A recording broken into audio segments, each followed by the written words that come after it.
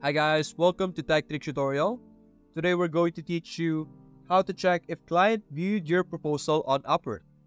It's a step-by-step -step guide to follow easily, so don't forget to hit the like and subscribe button. Let's dive right in. Now the first thing you're going to have to do is you're going to have to hover your cursor over here under find work and you're going to click on proposals. After that, we will be redirected to any proposals that I have And over here, you will be able to view your submitted proposals and active proposal. If a client has viewed your proposal, it will now appear under active proposals. But, but if it's not, it will only remain under submitted proposal. And that is how you will be able to identify whether the client has already viewed your proposal on Upwork.